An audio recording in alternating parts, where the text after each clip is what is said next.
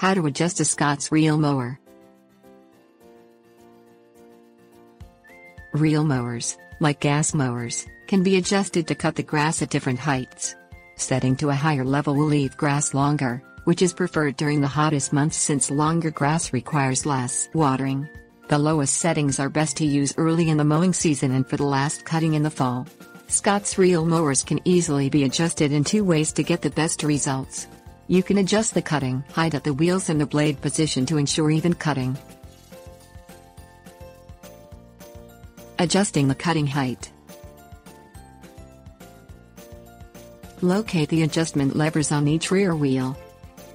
Squeeze the lever to release it, and move it to the preferred height. Release the lever, and let it snap into place at the appropriate notch.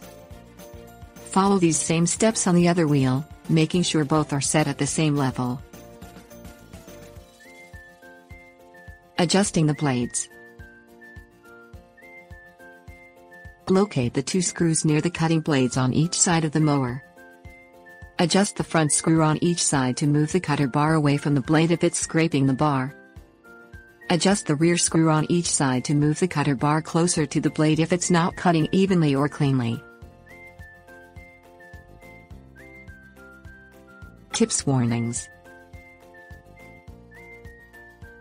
Unless you are having problems, do not adjust the blades during the first year. The blades are pre-adjusted at the factory and should not need attention for 1 to 2 years after purchase. When adjusting, be sure to loosen and tighten each side evenly. Blade should only require minimal adjustment to improve cutting 1 16th inch turns at a time.